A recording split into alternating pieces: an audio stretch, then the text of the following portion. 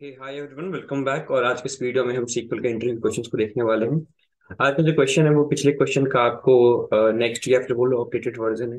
तो हमने पिछले क्वेश्चन में देखा था कि you have to find the second largest from the salary from the employ table okay and right now you have to find the nth highest so पिछले वाले क्वेश्चन में हमें, हमने दूसरी वो सबसे बड़ी वैल्यू फाइंड करी थी और अभी है कि you n is a variable so आप n is a variable and uh, this can be any number from 1 to n and you have to provide that value and then you will get that uh, maximum that highest salary like first second third fourth and so on till n ठीक है तो एक बार question को एक बार देख लेते हैं question वैसे बहुत स्ट्रेट फॉरवर्ड है बट फिर भी एक बार क्वेश्चन को गो थ्रू कर लेते हैं क्वेश्चन में दिया गया कि आपके पास एक एम्प्लॉय टेबल है जिसमें दो कॉलम है आईडी और सैलरी आईडी आपकी प्राइमरी की है सैलरी आपकी डेटा होल्ड करती है इसमें। देन मूविंग फॉरवर्ड क्वेश्चन कहता है write a SQL query to report the nth highest salary from the employ table if there is no nth highest salary the query should report null. Okay? तो इसने question में दो example दिए रखे कि question को ज़्यादा अच्छे समझने के लिए जैसे कि ये एक टेबल उन्होंने बना के दे दिया है आपको। इस टेबल में hundred two hundred three hundred data है सैलरीज uh, uh, बता रखी है for respective IDs one two and three and then you have to find the second highest तो आपको दूसरी सबसे बड़ी हाईएस्ट वैल्यू फाइंड करनी होगी। तो जैसे कि पहली सबसे होगी आपको ये three hundred and then second हो जाएगी 200 तो अगर फ़र्स्ट आपको फाइंड करना तो it's very pretty easy if you want to get the highest of a particular column तो आप क्या करो सिंपली आप मैक्स लगा दो ठीक है?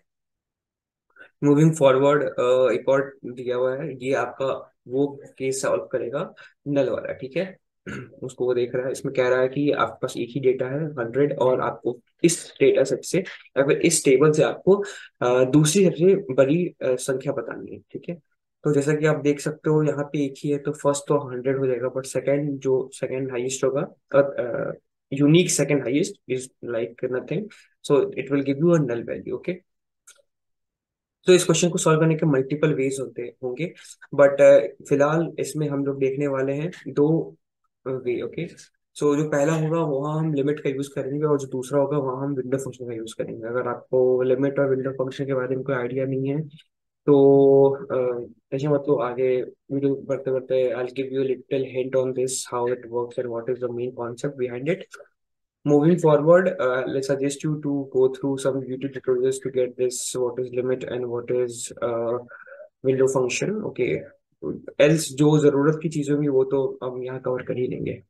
अप्रोच यूज़ करेंगे। तो ये हमारा फ़र्स्ट अप्रोच होने वाला है, ठीक है? लिमिट वाला यूजिंग लिमिट ठीक है? तो यहाँ पे जो तुम्हारा टेबल है, ये हमारा डमी टेबल होने वाला है जिसपे हम सारे ऑपरेशन करेंगे। ठीक है? ये आईडी कॉलम है और ये तुम्हारी सैलरी है। ठीक है? तो पहले लिमिट क्या होता है? कैसे काम करता है? ये एक बार देख लो। लिमिट का मतलब क्या समझते हो तुम? जो लिमिट लगा है, एक पर्टिकुलर रेंज एक बाउंडेड रेंज ओके ठीक है? तो इसके मैंने बहुत छोटे से लाइक एग्जांपल रखे हैं। These are the syntax okay तो लिमिट को दो तरीके से यूज़ कर सकते हैं हम लोग। तो पहला आपको होता है कि लिमिट के साथ ये लगा दो एक वैल्यू ठीक है? तो चलो एग्ज़ाम्पल से सॉल्व करते हैं। लेट्स सपोज़ यहाँ पे तुम्हें को निकालना है। Select something select a column ठीक है? तो यहाँ पे बोलो salary select salary from table तो तुम्हारा एम्प्लॉय टेबल हो जाएगा। लिमिट यहाँ पे तो लिमिट क्लॉज तुमने लगाया। लिमिट क्या कहता है यहाँ पे? Number of rows to return तो तुम कितने रोज रिटर्न मान लो तुम्हारे पास एक डेटा सेट है जिसमें एक हज़ार डेटा ठीक है? तो वो कितना चाहिए? मान लो तुमको चाहिए चार डेटा सेट ठीक है? तो तुम अगर यहाँ पे लिख दोगे लिमिट फोर तो ये क्या करेगा? तुमको चार रोज सेलेक्ट करके दे देगा, ठीक है? सिलेक्शन तुम्हारे उस पर हो सकता है according to how you put your condition ठीक है? और एक और कंडीशन होगा लिमिट का ऑफसेट के साथ यूज़ करते हैं तो यहाँ पे क्या होगा ना लिमिट टर्म समझो limit with single integer okay तो लिमिट अगर एक सिंपल सिंगल इंटीजर के साथ है मान लो फोर है तो ये डिनोट करता है तुम्हारा कि कितना नंबर ऑफ़ रोज तुमको रिटर्न में चाहिए ठीक है? अब यहाँ पे आगे एक लिमिट का दूसरा फॉर्म जब तुम ऑफसेट के साथ यूज़ कर सकते हो ठीक है? तो ये कर लो एक बार। हम्म, तो इसका एग्जांपल देखो अगर मैंने अगर मैंने इस टेबल पर लिमिट फोर लगाया लेट्स सपोज़ मैंने इस टेबल पे लिमिट फोर लगाया तो यहाँ की वैल्यू जो आ गई इसको हटा दो और ये हो गई फोर ठीक है? तो ये क्या करेगा? ये इस, इस कोड में जाएगा और इस कोड से क्या करेगा? फोर रोज सेलेक्ट कर लेगा ठीक है? ये बस इतना ही काम होगा इसका दूसरे वाले में एक बार देख लो ठीक है? दूसरा वाला क्या कहता है? कि सेलेक्ट ये जहाँ तुम ऑफसेट का यूज़ करोगे तो ऑफसेट ऑफसेट बेसिकली क्या करता है? वो स्किप करता है ठीक है? ऑफसेट तुम्हारा स्किप करता है और स्किप करने के बाद क्या करेगा? ये बताएगा कि तुमको कितना रो सेलेक्ट करना है ठीक है ना?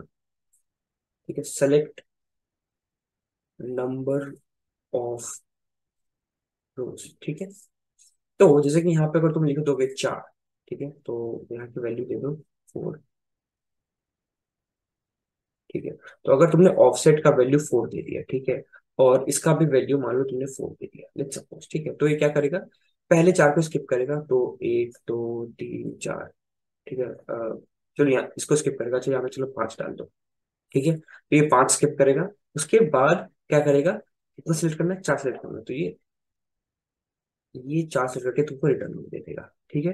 मान लो तुमको सिर्फ़ एक सिलेक्ट करना है। तो तुम यहाँ पे वन कर दोगे अगर वन तो ये क्या करेगा?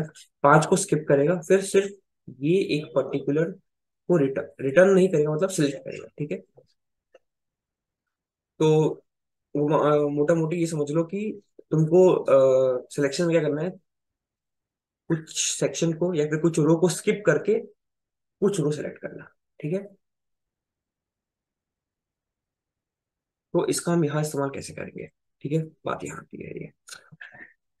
तो जैसे कि तुम यहाँ पर देख रहे हो, हमें चाहिए हाईएस्ट ठीक है? तो हम क्या करेंगे बेसिकली हमने डेटा को पहले क्या करा? ये हमारा डेटा ये हमारा टेबल है, ठीक है? इसको हमने सबसे पहले क्या करा? शॉर्ट कर दिया, ठीक है? शॉर्ट कर दिया और शॉर्टिंग जो होती है वो तुमको सीक्वल में ऑर्डर बाय होती है। ठीक है? ऑर्डर बाय याद रखना।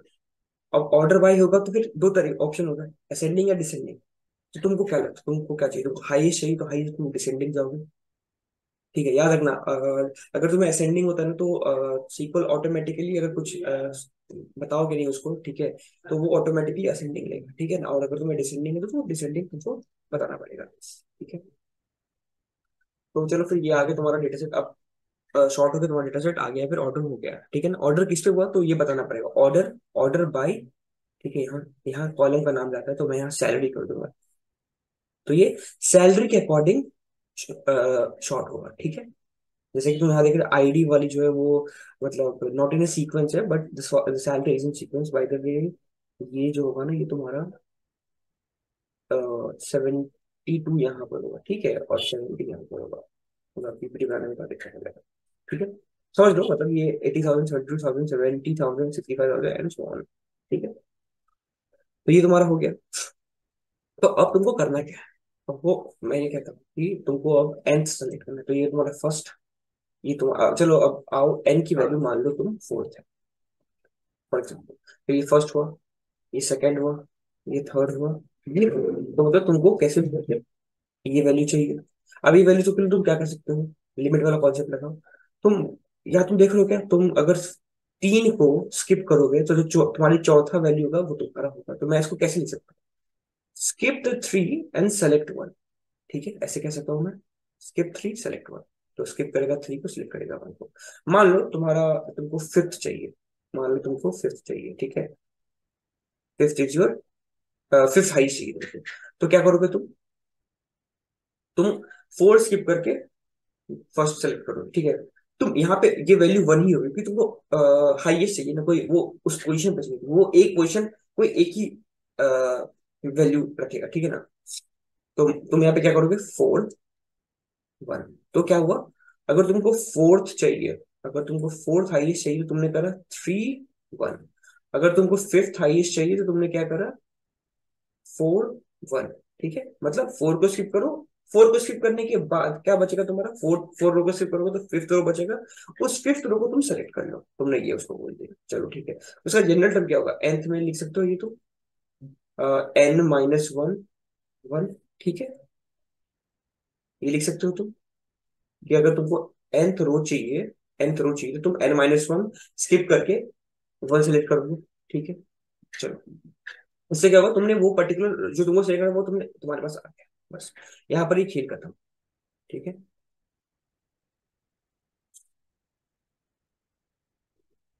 हम्म। तो फिर क्या करोगे? अब चलो क्वेरी लिखते हैं, ठीक है? तुम्हारा लॉजिक पार्ट हो गया। क्योंकि तुम तुमने जो अचीव करना, तुमने वो अचीव कर लिया। तो सबसे पहले हम क्या करेंगे? हम एक वेरिएबल बनाएँगे, क्योंकि यहाँ एन से तो हम एक वेरिएबल बनाएँगे। Set n is equals to n minus one ठीक है? तो मान लो, तुम इनपुट में दोगे फाइव ठीक है? तो यहाँ पे ये क्या लेगा? ये five minus one is equals to four one and four अब तुम्हारी लिखोगे सेलेक्ट सैलरी ठीक है? फ्रॉम तुम्हारा टेबल ठीक है? ऑर्डर बाय ऑर्डर बाय और यहाँ पे डाल दोगे वो आ, उसका वैल्यू जो इस कॉलम के रिस्पेक्ट में तो होना चाहिए तो सैलरी आएगा यहाँ पे। सैलरी और डिसेंडिंग असेंडिंग तो डिसेंडिंग करना है हमको। डिसेंडिंग ठीक है। तुमने डिसेंडिंग कर दिया अब तुम्हें लिमिट लगाना पड़ेगा। तो अब क्या हुआ? ये जो पूरा की हो तो तुमको ये वाला टेबल मिल गया। Select salary from table order by salary decreasing तो ये टेबल तुमको मिल गया। अब यहाँ पे क्या करना तुमको? स्किप करना है और सेलेक्ट करना है। तो क्या करोगे? लिमिट लगाओगे। लिमिट यहाँ करोगे एन यहाँ करोगे वन देखो, ये जो एन है, वो इससे रिप्लेस हो जाएगा। ठीक है? ये एन जो होगा, इससे रिप्लेस हो जाएगा। ठीक है? तो घुमा फिरा तुम्हारा वही हो जाएगा। Limit n minus one one ठीक है? तो एक बार से कोड कर लेते ठीक है ना? ठीक है। तो क्या कह रहे हैं? सेलेक्ट ठीक है। डिस्टिंक्ट हाँ डिस्टिंक्ट यूज़ करना चाहिए, ठीक है। डिस्टिंक्ट क्या करता है? यूनिक वैल्यू से ठीक है ना। तो सेलेक्ट डिस्टिंक्ट उसके बाद तुम बोलोगे सैलरी सैलरी देखो सैलरी की स्पेलिंग एस से स्मॉल लिखो तो वही लूँगा। सैलरी फ्रॉम तुम्हारा टेबल एम्प्लॉय ठीक है? अब ऑर्डर करोगे। ऑर्डर बाय सैलरी सैलरी कर दिए किस फॉर्म में करना है? डिक्रीजिंग करना है। डिक्रीजिंग अब क्या ना लिमिट लगाना है। लिमिट क्या करना है? एन माइनस वन ठीक है? या फिर क्या करना है? एन कॉमा वन ठीक है? और हमने यहाँ पे सेट कर देते वो वेरिएबल जो हमने रखा था set n is equals to n minus one ठीक है? तो करके देखते हैं।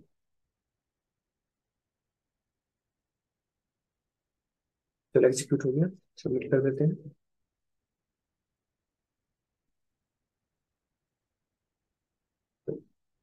सबमिट भी हो गया है, ठीक है। वापस आता है हमारे इस पे। अब हम विंडो फ़ंक्शन वाले पे आ जाते हैं, ठीक है?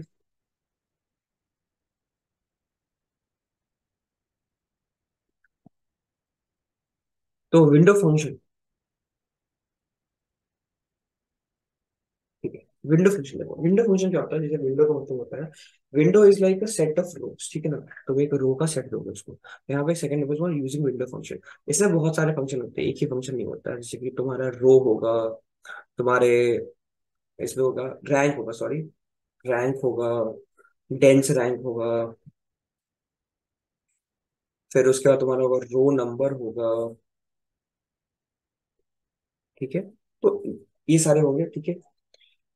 अब तुम्हें, तुम्हारा यूज़ क्या करना मैं बताता हूँ। रैंक बेसिकली क्या कहता है? जो ये है ना, ये विंडो फ़ंक्शन ये तुम्हारा घुमा फिरा के एक हिसाब से ग्रुप बाय ही ले लो, ठीक है? इसको ग्रुप बाय ही समझना। बट ये थोड़ा ज़्यादा ऑप्टिमाइज और बेटर अप्रोच है, ठीक है ना? ये तुम आगे जाके यूज़ करोगे, ठीक है? ग्रुप बाय तुम्हें क्या करता है ना? ग्रुप बाय ग्रुप से देता है और मतलब जो उसका रिटर्न वैल्यू होता है ना, वो एक काइंड ऑफ़ इंटीजर या फिर एक सेट हो जाता है, ठीक है ना? और ये क्या करता है ना, ये उसके इंडिविजुअल रोज पे वैल्यू डाल देता है, ठीक है ना? तो तुम क्या करोगे, यहाँ पास ये पूरा डेटा है, ठीक है? अगर तुमने इस पर ग्रुप बाय लगाया मतलब सॉरी तुमने इस पर अगर विंडो फ़ंक्शन लगाया, ठीक है ना? तो विंडो फ़ंक्शन में तुमने लगाया विंडो फ़ंक्शन का सिंटैक्स क्या होता है बेसिकली सेलेक्ट ठीक है? जो सेलेक्ट करना है तुमको, उसके बाद तुम यहाँ पे डालोगे क्योंकि ये भी एक कॉलम है। What do you you are creating another column so you will do this because this is going to be another column you will do that dense rank तो देयर आर टू थिंग्स हम दो चीज़ use करेंगे एक तो rank use कर सकते हैं। Rank और एक डेंस रैंक यूज़ कर सकते हैं। D N S dense rank ठीक है? राइटिंग के लिए थोड़ा सॉरी भाई।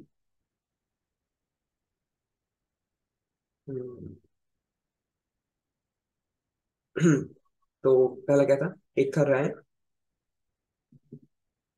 और एक का तुम्हारा डेंस रैंक। दोनों का डिफरेंस बताऊँगा मैं तुमको। रैंकिंग क्या करता है? तुम्हारा डेटा सेट जो है ना, वो उसको देखेगा और उसको लोएस्ट और हाईएस्ट पे रैंक करेगा, ठीक है? अगर मान लो तुम चाहते हो कि rank my data set on the basis of decreasing order तो क्या करेगा? सबसे जो बड़ा होगा, उसको रैंक वन देगा। जैसे इसको रैंक वन दिया, ठीक है? उससे छोटे वाले को रैंक टू देगा। उससे छोटे वाले को रैंक थ्री देगा, उससे छोटे वाले को रैंक फोर देगा, ऐसे करके जाता जाएगा, ठीक है? ये जनरल कंसेप्ट है। अब रैंकिंग क्या करता है? मान लो, जैसे यहाँ तुमने डेटा सीख ये वाला, ठीक है? Both are having same value ठीक है? तो रैंक तुमको क्या करेगा? रैंक वाला इसको वन देगा, इसको टू देगा, इसको भी टू देगा, ठीक है? बट इसको अब वो फोर देगा, ठीक है? अब फाइव देगा six seven eight nine ten मतलब क्या बोला इसने? कि जो सेम वैल्यू उसको तो वो सेम रैंक अलॉट कर देगा बट नेक्स्ट वाले का एक रैंक वो हट जाएगा, ठीक है ना? तो मान लो, अगर, मान लो लेट सपोज़ कि अगर ये और ये सेम होता तो ये सिक्स आता, ये भी सिक्स आता, और सेवन हट जाता और एट से काम स्टार्ट हो जाता, ठीक है? ये हो गया रैंक में। डेंस रैंक क्या करता है? पर डेंस रैंक क्या करता है? वन देगा टू देगा टू देगा, और जो उसके बाद वाला था उसको थ्री देगा फोर नहीं देगा। मतलब तुम्हारा जो सीक्वेंस है वो मेंटेन रहेगा, ठीक है? तो मान लो अगर किसी दो कस्टमर का अगर सेम सैलरी है, ठीक है, तब भी वो एक ही रैंक पे अलॉट होगा वो, ठीक है? ये होगा तुम्हारा डेंस रैंक का मतलब बेसिकली तो मेरा यहाँ अप्रोच क्या है? मैं तुम्हें एक अप्रोच करा देता हूँ अपना। कि मेरे को ये पता था, ये मैं कर सकता हूँ। तो मैं क्या सोचा कि चलो अगर ऐसा कर सकते हैं हम तो हम ये बनाएँगे ठीक है? अगर हम, कैसे भी, अगर हम ये टेबल बना लेते हैं, ठीक है? उसका हम क्या करेंगे बस फ़िल्टर करेंगे। फ़िल्टर करेंगे सैलरी वो सैलरी फ़िल्टर करेंगे और उसके बाद डाल देंगे, मान लो तुमको एन की वैल्यू अगर मान लो थ्री दी हुई तो हम बस यहाँ फ़िल्टर कर लेंगे। सेलेक्ट सैलरी फ्रॉम ये वाला जो हमने टेबल बनाया है हुज डेंस रैंक या फिर जो भी इसका वैल्यू है इज़ इक्वल टू थ्री तो ऑटोमेटिकली ये वाला पिक कर लेगा वो, ठीक है? समझे? तो बस यही करने वाले हैं। तो ये होगा यहाँ पे सेलेक्ट स्टेटमेंट होगा एक, ठीक है? जो तुमको सेलेक्ट करना तुमने वो लिखा टेबल से। फिर तुमने यहाँ पे डेंस रैंक के बारे में बताया, तुम्हें लिखोगे डेंस रैंक मैं अभी डी आर कर देता हूँ, ठीक है? शॉर्ट नेम डेंस रैंक फिर यहाँ पे तुम ओवर लिखोगे। ओवर क्या करता है? ये तुम बोलो, ये जो इसमें तुम काम करोगे तुम जो तुम लॉजिक लिखोगे, वो पूरे सेट पे अप्लाई कर देगा तुम्हारा, ठीक है? अगर पार्टीशन वाइज करना है पार्टीशन वाइज नहीं करना है फिर इंक्रीजिंग डिक्रीजिंग जो लगाना है, पूरे टेबल पे ये ओवर लगा के देगा, ठीक है? तो तुम ओवर के अंदर लिखोगे अपना ये लॉजिक वो वाला, कि शॉर्ट ऑर्डर बाई तुम्हारा जो टेबल का नाम है सैलरी और इसको डिक्रीजिंग ऑर्डर में, ठीक है? मैं कोड को अच्छे से तुमको लिख के दिखा दूँगा बस ये, समझो, पढ़ने के समझ लो तौर पे। तो ये तुमने सेलेक्ट स्टेटमेंट पर लिख लिया फ्रॉम तुम्हारा जो टेबल है एम्प्लॉय या फिर जो भी तुम्हारा ये सैलरी वाला, ठीक है? वेयर वेयर ठीक है। डेंस रैंक जो इसका, या इसका जो नाम नाम दोगे डेंस रैंक लोगे तो डेंस रैंक ठीक है? Dense rank is equals to तुम्हारा हो जाएगा एन ठीक है? तो अब एन की वैल्यू अपनी चेंज होते रहेगी और वो फ़िल्टर करता रहेगा, ठीक है? तो ये बेसिक अप्रोच है।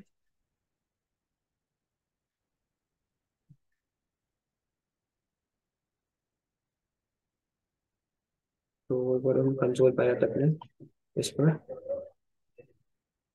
और इसको फिर से क्रिएट करते हैं और लिखते हैं। तो क्या पहले? सेलेक्ट सेलेक्ट तुमको सेलेक्ट क्या करना है? सैलरी सिलेक्ट करना है तो। सैलरी ठीक है। नहीं ये बेसिकली सीईटी अप्रोच है। सीटीई अप्रोच है। मैं थोड़ा नाम भूल गया तो लिखेंगे विथ रिज़ल्ट ये रिज़ल्ट है ये एलियास तुम टेबल बनाने वाला तुमने देखा था एक टेबल बना हुआ था इसमें तीन कॉलम है तो वो टेबल हम भी बना रहे हैं। ठीक है? यहाँ लिखेंगे हम। सेलेक्ट सैलरी उसके बाद लिखेंगे हम डेंस रैंक ओवर अब यहाँ पे पे लगाओगे तुम तो लिखोगे यहाँ पे order by salary decreasing decreasing ठीक है। एज कोई नाम एलियस दे दो। टेन रैंक लिख दो। ठीक है? फ्रॉम एम्प्लॉय ठीक है? तुम्हारा टेबल बन चुका है अभी अब क्या करोगे तुम? सिलेक्ट करोगे। ऐसी select distinct distinct salary distinct salary from अब तुम्हारा जो तुमने न्यू टेबल बनाई है रिज़ल्ट करके ना। Result from result where where result dot तुम्हारा क्या नाम है इसका? डेन है। इज़ इक्वल्स टू टेन ठीक है।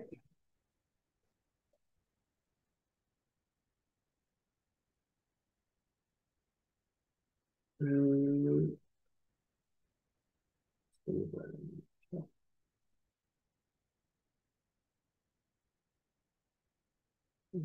Google doesn't exist. The lingular became for you.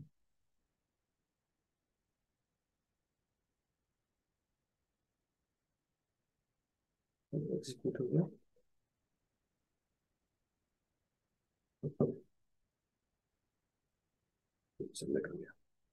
तो यही था कोड ठीक है? और अगर तुमको हम्म, कुछ डाउट वाउट हुआ हो तो फिर कमेंट सेक्शन में लिख देना I try to help you out in that and if you like the video to do like share and subscribe thank you happy coding